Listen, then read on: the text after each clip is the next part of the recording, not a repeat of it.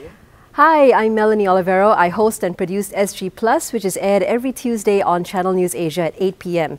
Tonight on SG Plus, we're going to be looking at MediShield Life in Singapore, how it's going to be rolled out next year.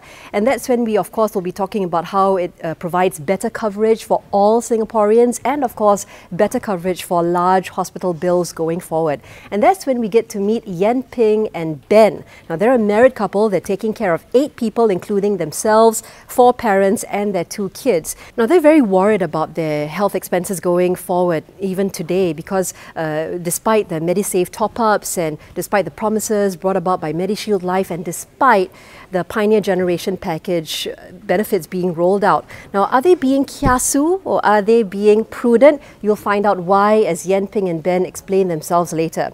And later on in SG Plus, we'll be comparing MediShield Life with other national medical insurance schemes rolled out by other countries, including Obamacare in the US, the NHS in the UK, and the NHI in Taiwan. It's going to be a very healthy edition of SG Plus tonight, and I hope you'll join me then.